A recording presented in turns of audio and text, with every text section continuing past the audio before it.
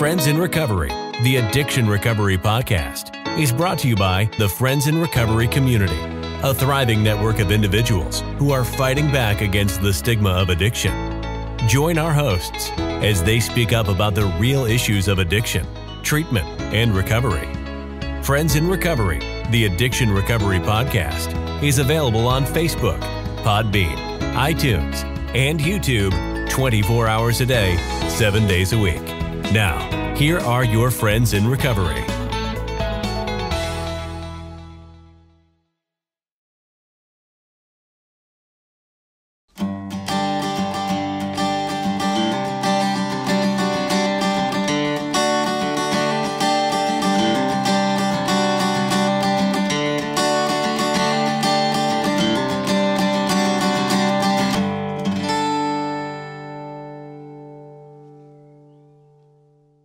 Welcome to episode 96 of the Life in Recovery podcast with me, John Loxley. I hope you're doing well out there. This episode of the podcast is with Jersey Ed, who is from the Friends in Recovery podcast, which I recently guested on. Uh, as always, it was a fantastic conversation. Uh, loved chatting with Ed. Could have uh, carried on the conversation for many hours. So I hope you enjoy listening to this conversation as much as I enjoyed speaking with Ed.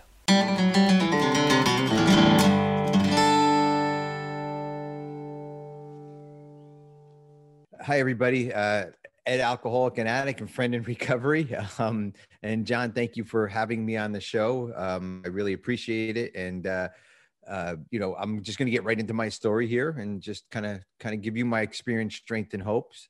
Um, I do, I don't really dwell on all the shit. In the, can I say shit here? Of course. I don't dwell on all this shit in the past because we all know, um, you know wh- what we did. You know my story isn't really too much different than the the other people down the road you know we just we just end up in the same spot. You know we end up in the in the recovery spot. The lucky ones end up in the recovery spot i must say. Yeah. the ones that don't get it are the ones that may take too long to get it um death is probably an option now um for first and foremost unfortunately. And um i'm blessed not to have that option today will death come yeah eventually but uh but not the way that i was you know the way i was going. So um just to give you a kind of a little background of what of myself uh grew up in uh, jersey um I am a New a New York Yankees fan. I don't know if you guys know anything about baseball over here, but I am Yeah. a New York Yankees fan. I got the tattoo to prove it, and um, I uh, uh, so that's where I grew up. That's why my name my nickname is Jersey Ed, and uh, I hadn't grew up in a normal kind of household family. Um, had a great mom that was codependent, had a great dad that was a drunk, and um, boom, there you go. Need I say more? But uh, but it's very dysfunctional in my household and very um, um, you know, kind of unsettling with uh, my dad drinking all the time. My mom always claiming, uh, my mom always claiming that we never have any money. My my dad had a very successful business, um, and uh, but he was always drinking it away. So I guess we really never had money. So uh, you know, if we if I wanted my dad, I'd go to the bar. I knew exactly where it was. He was at, he was at the at the Red Top uh, bar, and and that's where we went in Sayreville, New Jersey. Now I'm going to throw something at you here, uh, John. Uh, Sayreville, New Jersey. Probably nobody, maybe somebody's heard. Have you ever heard of Sayreville, New Jersey? Nope. Well, did you hear of a little band called Bon Jovi? yeah. Okay, now you know Sayreville, New Jersey. That's where he grew up. That's where I grew up. Uh, I went to the same school as his brother. I didn't know John at all, but I knew his. I knew his. Um, I knew his uh, brother Tony. Not well, just you know, going going to school with him, just passing in the hallways. But that was it. Um, so uh, a little a That, little that bar, little band, that little band, Bon Jovi. little yeah, a little band Bon Jovi. Yeah, there- listen, listen. If I had hair like him, I'd have all the money like him too. But Yeah, I decided probably- not to have the hair. Probably be dead now, definitely. probably would be yeah yeah yeah so but he does a lot for new jersey he does a lot for um, the community so thank god for him he, he does a great job in new jersey so um, and that's in the states of course but um, you know so this little bar in Sayreville, new jersey i would it would it was my home. My dad would pick us up from the from school. We went to a catholic school you know normal catholic school um pick us up and uh, we'd sit at the bar. John i had burgers for dinner. I had French fries. I had chicken wings. We had pickles at the bar. It was cool sitting at the bar. There was a phone booth. Some of your listeners may not even know know what a phone booth is, but there's a phone booth there, a pinball machine, a pool table, and get this, a bowling alley, a five lane bowling alley. What more could a what, what more could a, a, a fifth grader ask for? Right? Not much. right? Spending time with your dad, you know, all this stuff. But little did I know, um, you know, he was there to drink, not to be with me, and that's where the confusion, I guess, got into my head. I had two. I have two sisters too, where the confusion got in my head, saying, "Okay, so this is how." Life is supposed to be. This is how dads and sons are supposed to get together.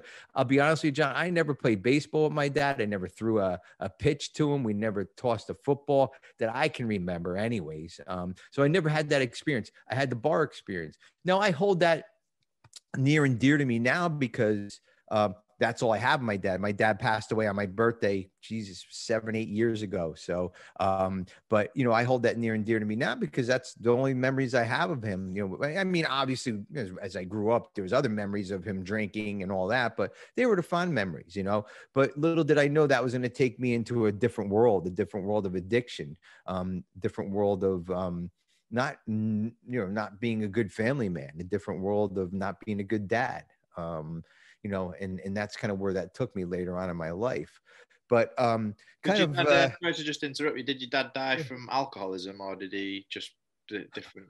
Um, he he he passed away in his sleep. He um he he he had a stroke and he would he didn't have a stroke and die of the stroke. He had a stroke and he lived for seven years after the stroke, but he never took problem was he never took care of himself. He did stop drinking. The doctor told him to stop drinking, but you know, you know as well as I know, John, if we can stop drinking, but if if we keep those, you know, behaviors still going, it's still not not good behavior, you know. Yeah. So so they ended up finding him dead in Florida in his in his bedroom. He was in a nursing home um, with no money, the typical drunk story. You know, he ended up going from making a ton of money way up here, um, all the way down to a nursing home that was taking all his inheritance from my grandmother just so he can have a little room, and then he he died in the room, unfortunately.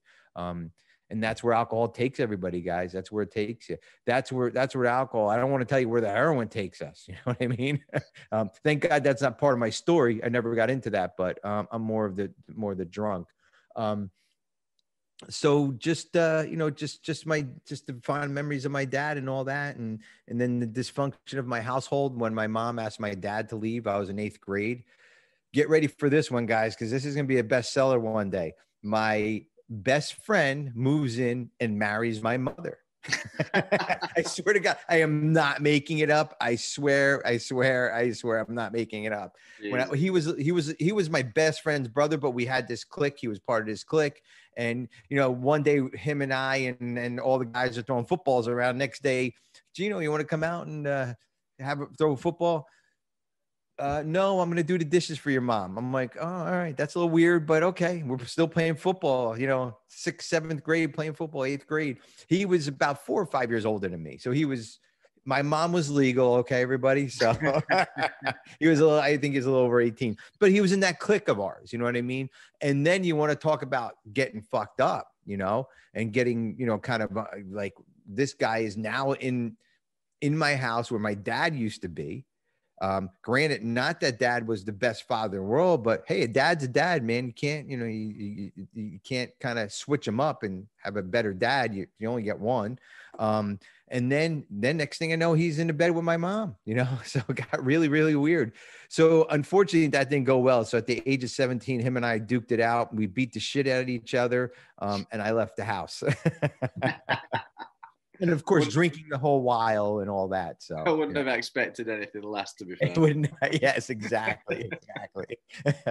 but I was not the best kid in the world. Let's let's make mention of that. I was drinking, smoking pot, you know, sneaking out, just doing everything that I thought was right as that a teenage kid should do. You know, but it wasn't unfortunately and uh, and i was acting out i was looking for attention the whole nine yards and i didn't want to be there that just was not a safe place for me anymore you know so i ended up um, moving into my grandmother's house um, she took oh, no before i moved to my grandmother's house i ended up moving into a uh, a trailer um, of my at my best friend's house. We had a great time, man. We had parties every night. His mom really had no clue what was going on. Um, we had somebody buy us beer all the time. He plugged the camper in, so we had a refrigerator, we had electricity, we had everything. And then she found out I was living there after a couple months, and I got kicked out. So um, got some stability at my grandmother's house, which was cool. Um, and uh, but she was also um, she wasn't one of us, but she should have been one of us. Um, and she drank a lot, and um, she was pretty strict about things. Um, had to go to school, which sucked. I mean, but hey, 17, 18, I guess you have to go to school. Um, and then, uh, but you know, I did my thing, start getting the cocaine early on too. Uh, I'm an 80s kid. Um, not to have any 80s hair left, but um, I'm, I'm an 80s kid. So a lot of cocaine, um, a lot of booze, a lot of, you know, just big hair and, uh, and um, heavy metal bands. That's that's that's, that's what my life was when I was early early uh, er, er, in in my early days. So um, I didn't graduate from high school. Um, drank all the time in high school. The, you know the typical stuff. I don't. You know it's just kind of the typical insert story here, and you know equal drunk out here. You know, and uh, but um graduate i didn't graduate I, I, I made it through high school i, I did take a summer course when i graduated uh I I was my my grandfather. One thing that John that that really helped me through eh, up until this day actually uh, my grandfather was a very hard worker and my dad was a hard worker. I came from a family of very very hard workers. My grandfather worked in a factory in uh, in new jersey um, in Sayreville, new jersey for 45 years um, you know did his whole thing there. Never probably never missed a day um, you know was was just a hard worker. So i got that from him. He instilled um, that work ethic in front of in, into me. So probably about the age of 18, he wanted me to get a job at the factory. It's like, yeah, more money to go party. And because listen, man, back then, 18 and and a factory job, man, you were making some big money, you know. I mean, and uh, so I got the I, I I got the interview. I went in, got the job, and uh, uh, I had to go for the drug test way back when they were doing drug tests.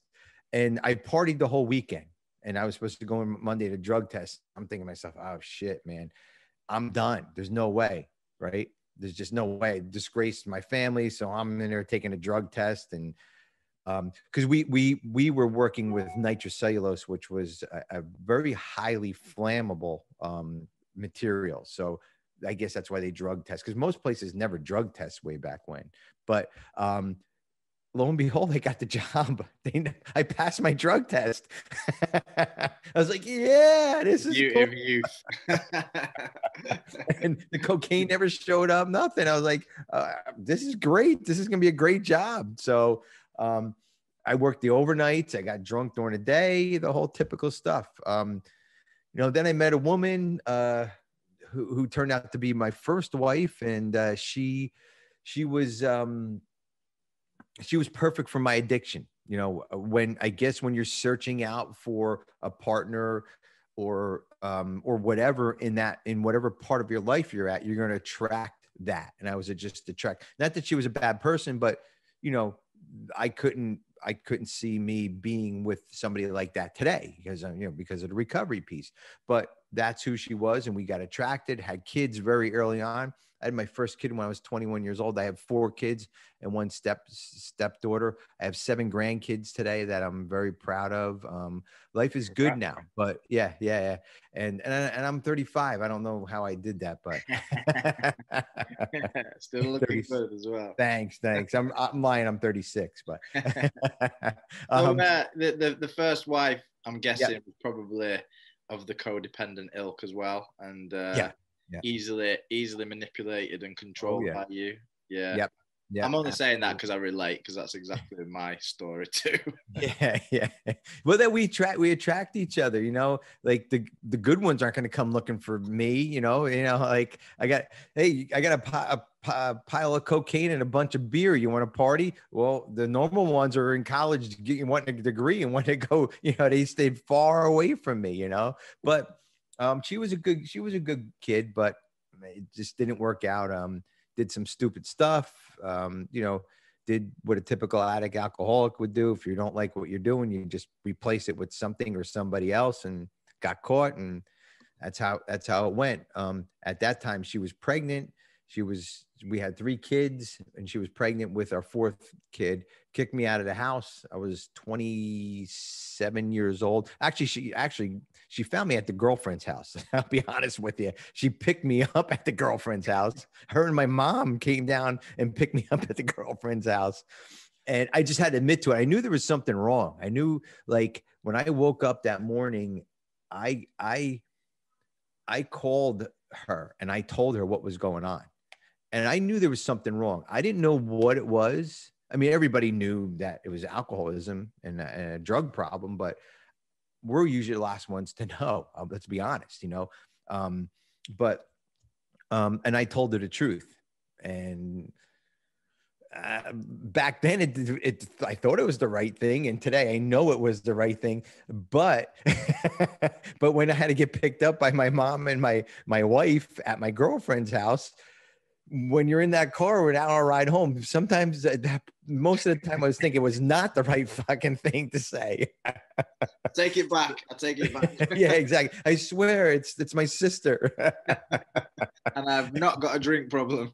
exactly, exactly. But anyway, so but you know what? Um it, unfortunately that time it didn't stick. Uh, she took me back. Here's the thing.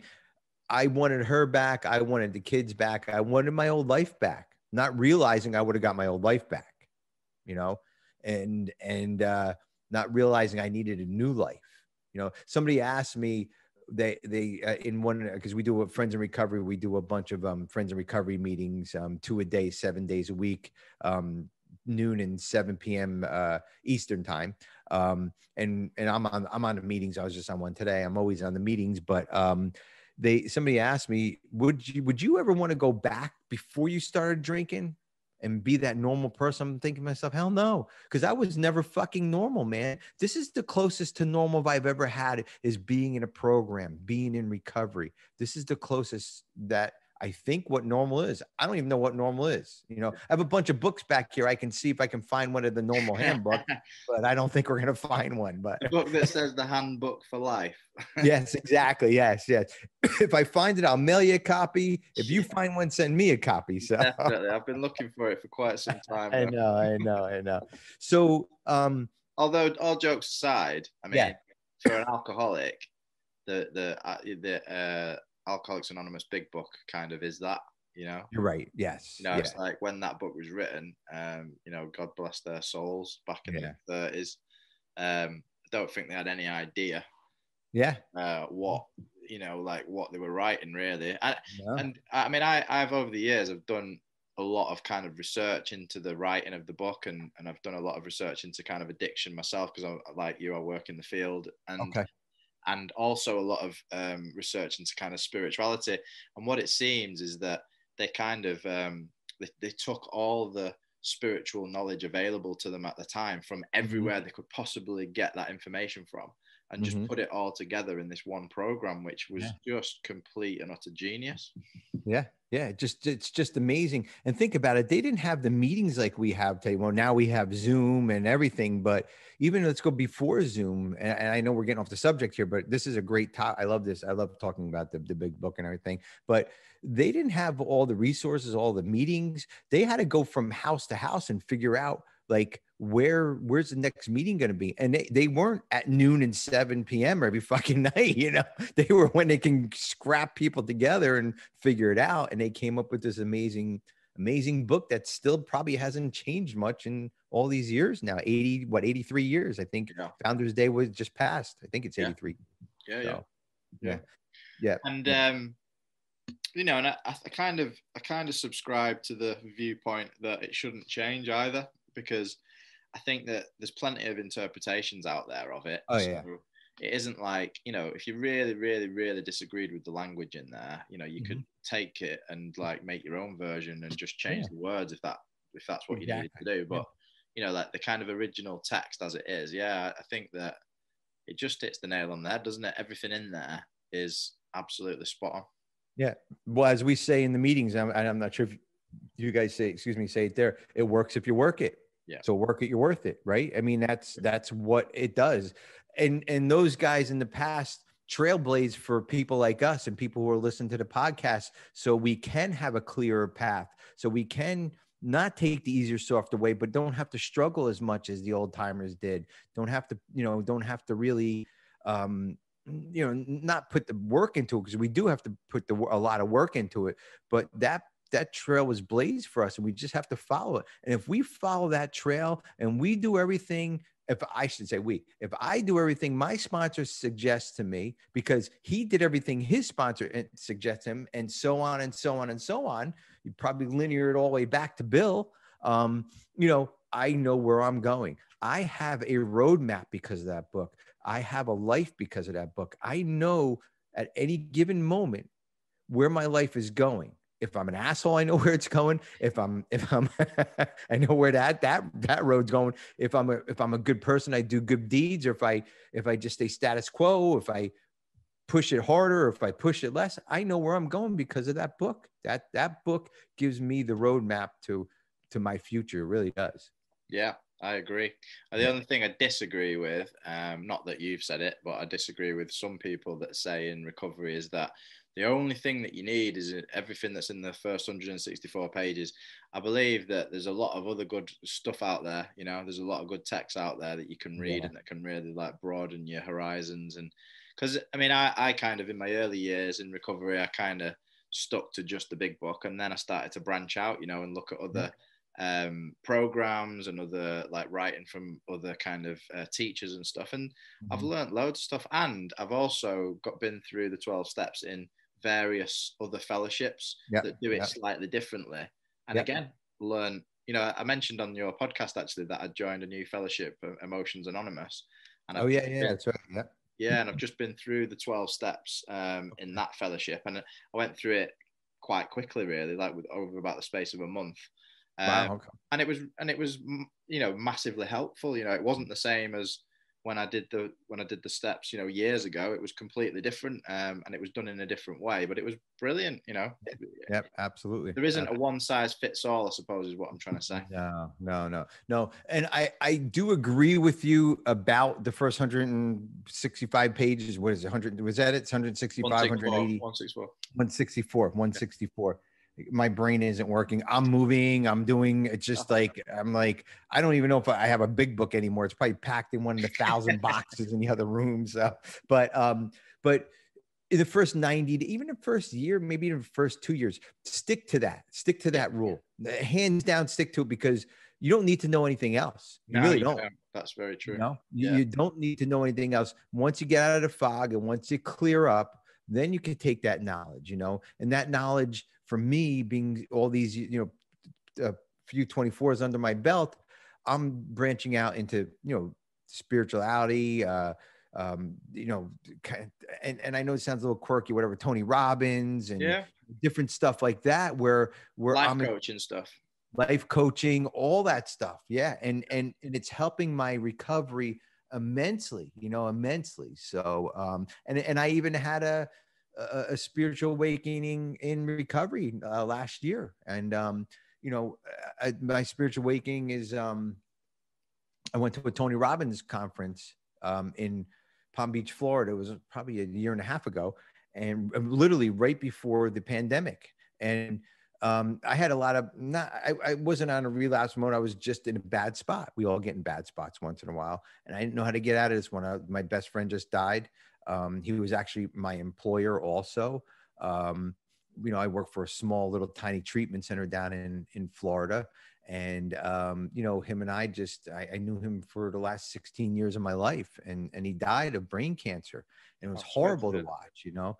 And then you know, my job is my job safe? You know, who's taking over the whole nine yards, and it's fine. Everything worked out fine, but um, I I didn't want to be alive at some point, you know, right before the pandemic. And I went to this Tony Robbins um, uh, workshop and kind of turned everything around, you know, kind of turned everything around.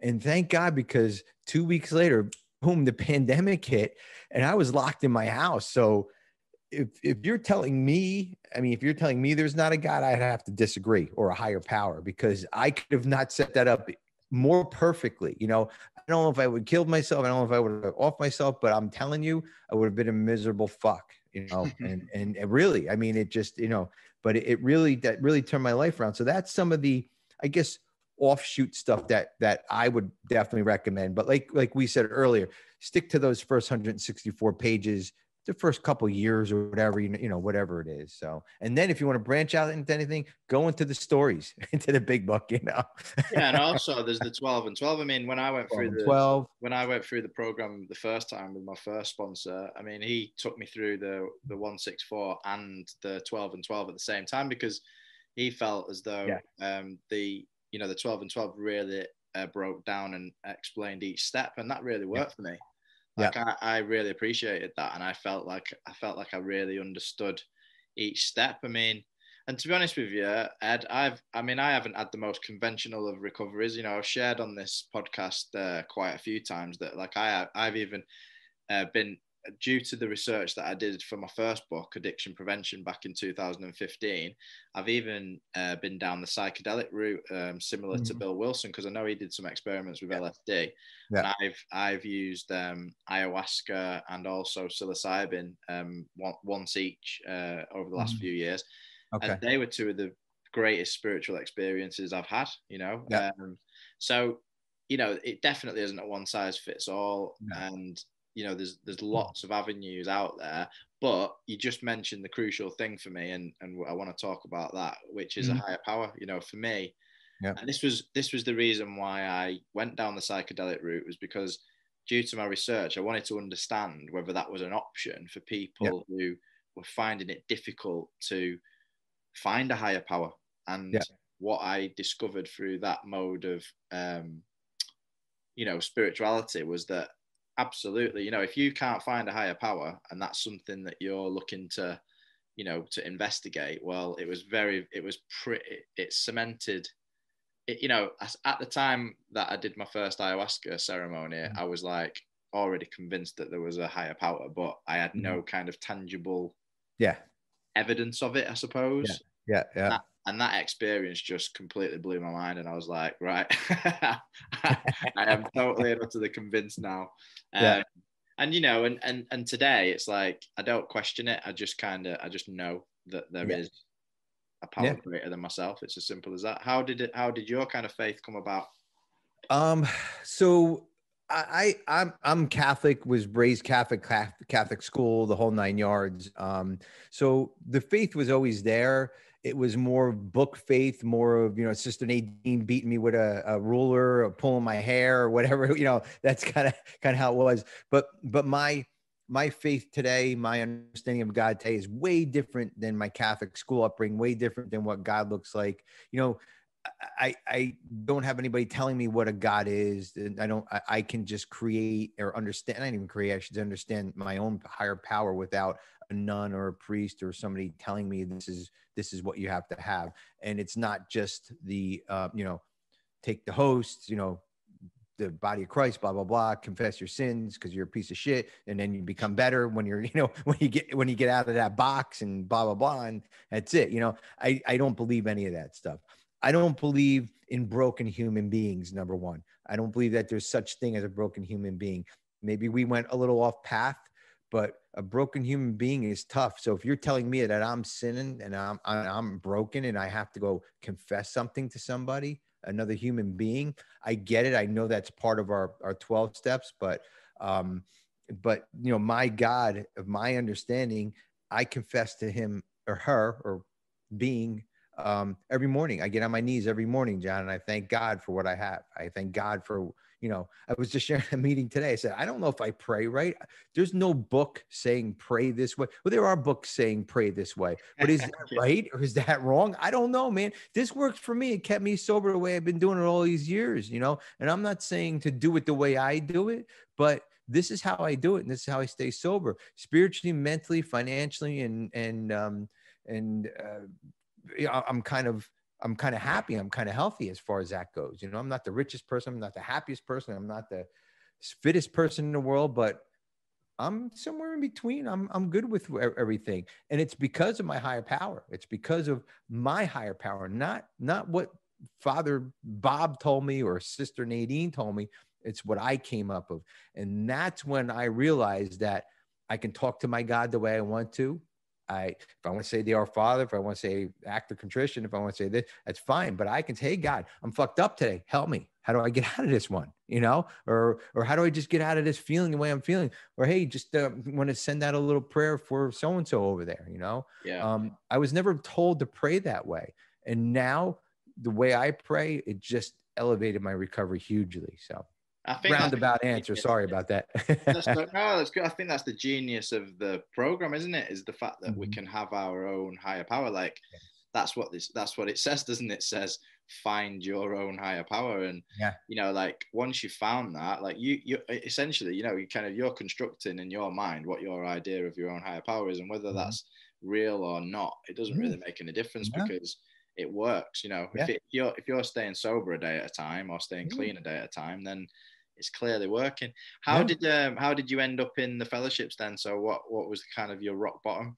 So as I was saying before, with the uh, with the wife picking me up from the girlfriend's house, blah blah blah. Um, I I'm like I remember my dad's drunk friend saying, if you ever get in trouble, and he he was a womanizer too. If you ever get into trouble and you're quote doing something you shouldn't be doing, tell them you want to go to rehab. So that's stuck in the back of my brain. I didn't even know what rehab was. I, I had no idea. So I said, Yeah, I want to go to this hospital. I want to go to that. So the wife drove me to the hospital. Two days I was in there. I was like, I got this. Sign myself out AMA and boom, off to the races again. I got, I did get her back. We did do our thing. Um, and I was with her for about a year and a half, drinking like an animal. Um, I convinced her that I was okay to drink and do cocaine again. And you know, girlfriend came back in and every, I got everything back. I got my old life back. You know, I, I got what I, I got what I wanted back. I didn't get the new life, you know? And uh, so a year and a half later, um, she picked me up again from the girlfriend's house and uh, i was like we got to stop meeting here. This is not good. But uh, I, I, you know i just said i had enough and and i knew i knew that was it. I knew i was done. I knew you know just i had that spiritual awakening. I knew at that point that drinking was my problem. I knew at that point that cocaine was my problem. You know four kids at home um, everything you know just living at my mom's house on government assistance, eating with government cheese and and uh, you know just spending money like crazy. I knew there was something wrong, and the minute I got to that hospital, it wasn't easy. You know, I mean, I struggled at the beginning, um, but I knew I had to stay sober. Um, got out of that time. I got out of hospital about five weeks later, and there's and it's it wasn't rehab wasn't like it like it is today. You know what I mean? I I, I had a a tough, a tough uh, stay at the rehab. You know, I didn't have all these fancy beddings and all that. I, I had a, a hospital bed. So, um, but uh, I ended up just getting sober because of, because of that, that last, you know, that last stent and that last um, bottom, I guess, you know, that's kind of how I got sober. So, what, and, uh, yeah, what did you kind of uh, early days of recovery look like for you? Then were you kind of the, were you the alcoholic who kind of like got into it, did the work, or were you like fucking about and you know not kind of getting into it initially? Um, no, I did the work. I was too scared. I didn't. I I'm telling you, John. March 10th, 1994 was my sobriety date. I knew that I wasn't going to pick up again. I mean, granted, I, I I'm I don't I don't project that. I don't say that's going to happen, but I kind of knew that I was not going to pick up. So to protect myself, knowing that I'm not, I don't want to pick up anymore, I jumped into it wholeheartedly. I, you know, counseling, therapy. The other thing too, I'll be honest with you, I still wanted my wife back. I still didn't grasp that the wife was part. I don't say she was, she's the problem, but she was part of this cycle of the problem. And, um, I still wanted her back. So I was going to this meeting in South River, New Jersey on Tuesday night at 7:30 called uh, the Fog Lifters. And there was three meetings. Now, I, it was a smoking meeting. The whole church, everybody smoked in the church everywhere, in the auditorium, in the classrooms. We smoked everywhere. That's how crazy it was way back when. So it broke up into three meetings. One was a speaker meeting every Tuesday night in the big auditorium. A second was a step meeting. I didn't know what a step meeting was at the time. I didn't get into the steps too early on into my recovery. And the third was a beginners meeting. I'm like, this is cool. I, we can, you know, get into this. So every Tuesday night, I would go there and complain about my I'm uh, not complaining, but talk about I want my wife back. I want my wife back. I want my wife back. And they always had an old timer chairing the meeting. And we sat in those little tiny kid chairs, you know, in, in the, and, you know, we were sitting like this. And, and every time I raised my hand, you know, I still haven't got my wife back and raised my hand next week. Oh, I still got this, you know, oh, I want my wife back. I want my, so after about a year of, I guess, people hearing this, the the old timer that was chairing is I raised my hand. I said, "Yeah, I don't have my wife back yet. I think it's pretty close," which it wasn't. He's like, "Ed, shut the fuck up. You're not going to get her back." I was like, "What?" I'm like, "Are you kidding me?" I'm like, "Why am I coming to these meetings?" And that's when I knew, right? That's when I knew that guy was right. I was pissed. I was angry. I didn't like what he told me, but it was the truth. That's what he told me. He told me the truth. And he also told me if you get her back, you're going to get everything else back. And I got scared and I didn't want everything else back. I wanted the wife back, but I didn't want everything else back. You wanted and, the wife, not the life. yeah, exactly, exactly. So little did I know I have a beautiful wife now. I'm married three times, but um, but my wife now we've been together 15 years, and uh, you know I couldn't even pick out a uh, couldn't even pick out a better wife. You know, ups and downs. You know, good times, bad times. She wants to divorce me. I want to divorce her. It's, you know, in our heads, but you know, but that's how it goes. That's how life goes, you know? And, and that's the other thing the program taught me. There's no perfection in this world. There's no happy, happily ever after, you know, we're, like I said, we're in the middle of moving and, you know, I, if you move, my suggestion is put a boxing ring in the middle of your house and have at it because it'll help with the frustrations and the anxiety and all that. It might work out better because moving is very stressful, um, yeah. you know, amongst everybody. And you know, we've been here 15 years, and but the program told me it's time to move on. It's time to start another life somewhere. It's time to my my last my youngest daughter's is you know going to college and um is she in know, recovery your, your, your wife now or not she is not no no she she does work for genesis house where i work for and um you know we've been working for genesis house for the last 16 years she knows addiction inside and out um you know i put her through a couple of uh you know craziness you know she she understands it through me and um and some family members but um, but she's uh, she's really really good as far as as far as uh, recovery goes. She's um, one one of the best in the business, helping people get into treatment. So uh, cool. uh, I'm blessed on that on, on that half. So, but yeah, so that's kind of how it went, and my life now is so good, John. I mean, it I can't complain. You know, um, do I have issues? Do I have problems? Of course I do, but I know how to deal with them now. You know, do I have stress, anxiety? Yeah, I do. I got a lot of that. You know, I went through two businesses in recovery, two wives, um, countless people dying in my life, but I didn't drink over any of it.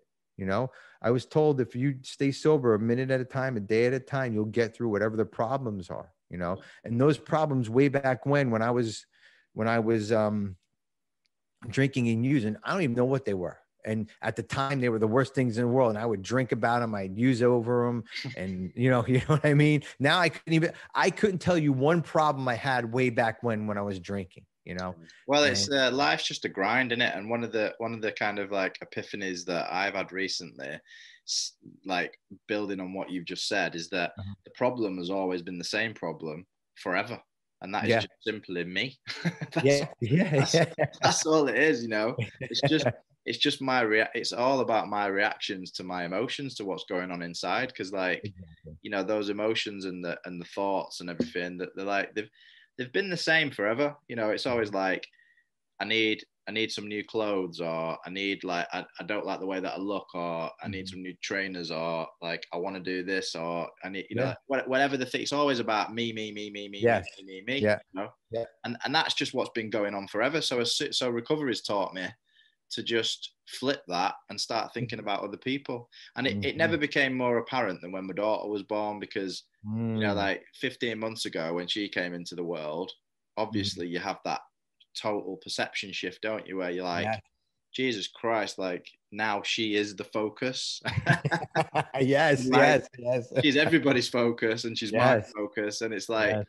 you know, the the stuff that seemed important just doesn't seem important anymore. Yeah. You know? No. So no, absolutely not. You know, it's a, it's the transition, isn't it? It's the 180 degree turn from mm-hmm. selfishness to selflessness. Yes. In, in varying degrees, like as best as you can be on any given day, I suppose. That's kind of my take on it. Yeah, no, and you're I have to agree with you 100%, you know, and and uh you know those but but those but but you but you were in recovery when she came around, right? Yeah, yeah, because I've been in recovery since 2010. So it's, oh, okay, uh, good. Yeah, good. yeah. So yeah, I mean, it's everything happens as it's supposed to, doesn't it? Everything yeah. happens for a reason. Like I got, I got an old girlfriend pregnant when I was, uh, how old was I? I was, I think I was like my mid twenties, and mm-hmm. uh, that didn't work out and mm-hmm. uh, I'm just very thankful that it didn't because I, you know, being I'd have been a father at a similar age to you then mm-hmm. probably I think I was about 24, 25, yeah, maybe a bit younger, and yeah. I just think Jesus Christ, you know, like at that time I was like getting drunk and threatening to throw myself off bridges and that kind of mm. stuff, you know. So yeah, yeah, I was yeah. definitely not daddy material, that's for sure. No, no. And I was definitely not daddy material. Even when I got to recovery, it wasn't daddy material, you know. It's it's it's uh it's tough. And I I you know, even when they're born, even when you have a good head on you, again, it's a tough life, you know, to, to have a baby. It's a tough life to key key thing. He said the focus is off of me and now on the baby. You know, everything's for the baby. Everything's and I don't care what mind frame you're in. You're not 100 percent ready for that. You know, and uh, it's it's tough, but you know what you but because we're in recovery we can adapt much quicker we can have the less poor me time and the less you know all about me and more about them and adapt to it and move on and, and never look back, you know, as long as we stay sober, you know. And absolutely, uh, absolutely. That, that's the most important part of it. What does uh, life in recovery mean to you then, Ed? Life in recovery means to me um, happy, joyous, and free. That's what it means to me. I mean, um, I, I really don't have anything more to say about that. It's just happy, joyous, and free. And uh, just just being sober is just giving me a whole new world, a whole new um, whole new outlook on life, a whole new perspective, and also I'm learning more. I'm learning more as, and I don't know if it's an, a thing as you get older. I thought as you get older, you slow down. I don't want to run marathons. I run ultra marathons. I, uh, um, you know, I'm, I'm in this thing called YLR. It's uh, Build Your Life's Resume with um, somebody here in the States, Jesse. I, it's uh, Itzler. Um, and I'm I'm doing a hundred mile kayak trip down the down the Delaware River here in in in the states. Um, I've never been on a kayak before. I think I have an hour and a half in a kayak. I'm yesterday I'm trying to pack the shit in a kayak and trying to get all my stuff. I'm like, I look at it and I'm like, holy fuck, I got to spend five days in this thing, like. but you know what it's okay because i can take chances i can do things um, i would never do that when i was drinking or i would never even do that if i if i you know my sponsor like-minded people like we we we make ourselves do things to improve ourselves you know? Of course it's going to be painful of course it's not going to be i'm not going to be in my bed i'm not going to be in my warm comfy house i'm going to be i bought a tent i never owned a tent in my life you know? And i bought a tent. Um but but that's what makes us grow guys. Early recovery huge growth in early recovery if you do it right. I mean, huge growth if you do it wrong too. You know, yeah. um, you you can grow either way. You know, but also then you get complacent and you stop growing. And I didn't want that. I didn't want my stop growing anymore. I wanted to keep growing. So I turned it around again and I said, let's just do it, whatever it is. You know, let's just just go out there and grab it. You know, I'm 55 years old and um I don't plan to stop. I really don't. I, I just I, I, plan on helping people for the rest of my life. I plan on being active, eating healthy. I'm a vegetarian, um, and I that's something I decided throughout the pandemic. Um, and and I enjoy being a vegetarian. Um, I'm not a vegan. I'll eat cheese here and there because some of that vegetables need some fucking cheese on it so I can get it down. so, but over overall, I do I do love. Um, I do love. Uh, I don't miss. I mean, I do miss eating meat. Okay, I really do. I feel like a nice big steak on a grill, a, a shitty old hot dog, and a and a crappy old bun, and squirt some ketchup on it. But I stand for something now, John. I can put because of Alcoholics Anonymous, because of my program, I can say, you know what? I don't need to eat meat because of what they do to the animals. They're never going to stop killing animals. They're never going to stop packaging them because Ed Chancho stopped fucking eating them.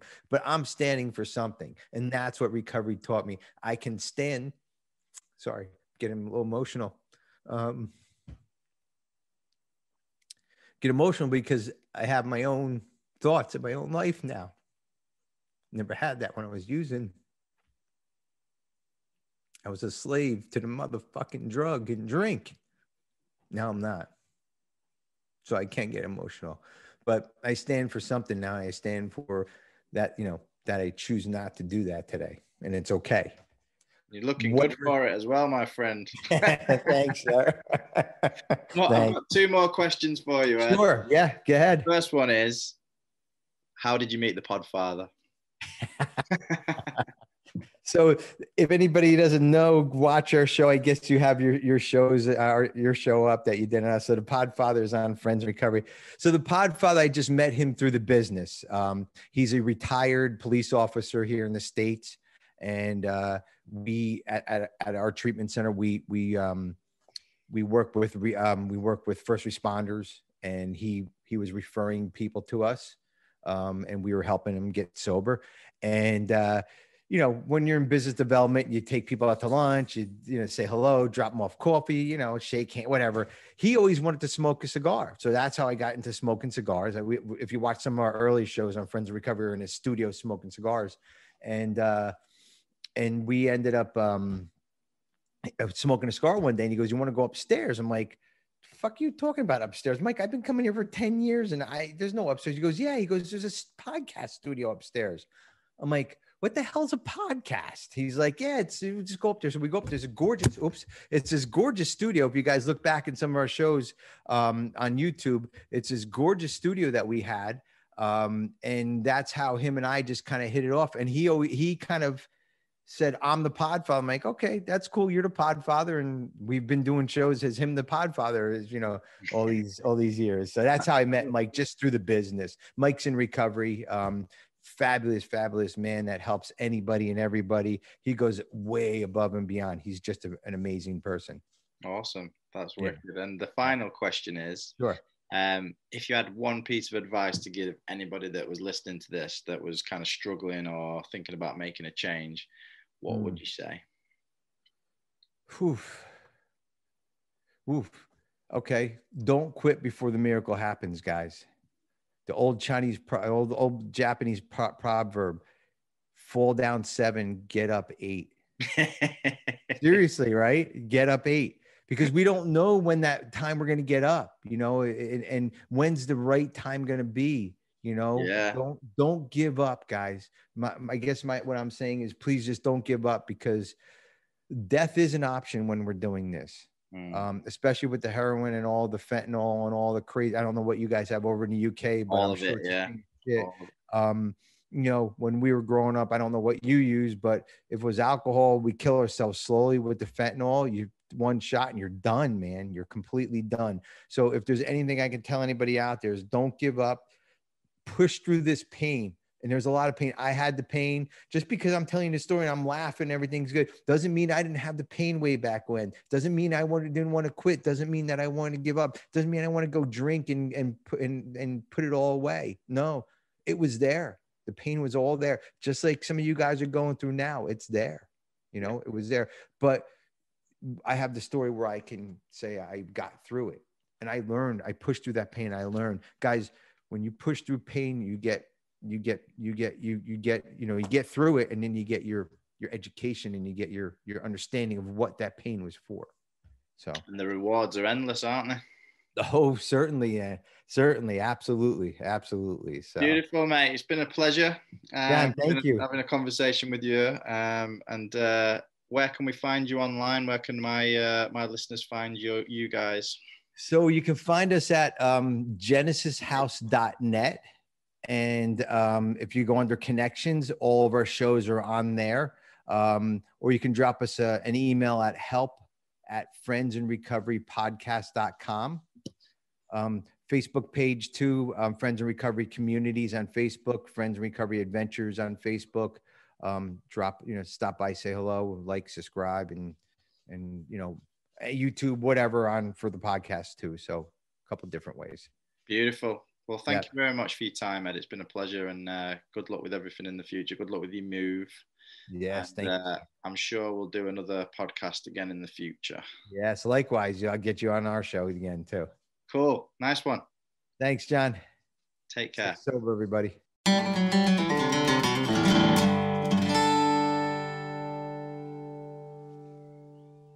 Thanks for listening. And if you've been affected by any of the issues discussed in the podcast, please see a range of mutual aid organisations in the show notes.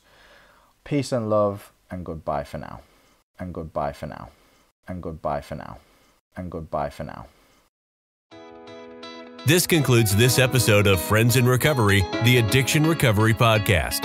Follow us on Facebook for past shows and updates, and enjoy free access to twice daily support meetings. Friends in Recovery, the Addiction Recovery Podcast, is available on Facebook, Podbean, iTunes, and YouTube 24 hours a day, 7 days a week. Since 1992, Genesis House has been helping real people heal from addiction on their private recovery campus in beautiful Palm Beach County, Florida. Their family owned program is accredited by the Joint Commission and offers detox and dual diagnosis treatment in a comfortable and confidential setting. At Genesis House, they focus on treating the underlying causes of addiction. Their comprehensive approach includes psychiatric care, individual and small group therapy, trauma healing techniques, and holistic care, including yoga, massage, and animal assisted therapy. After treatment, their clients enjoy the lifelong support of a nationwide network of Genesis House alumni. Call Genesis House today at 1 800 737 0933 to speak with someone who understands. Visit them on the web at www.genesishouse.net. It's time to start your journey to a long and successful recovery.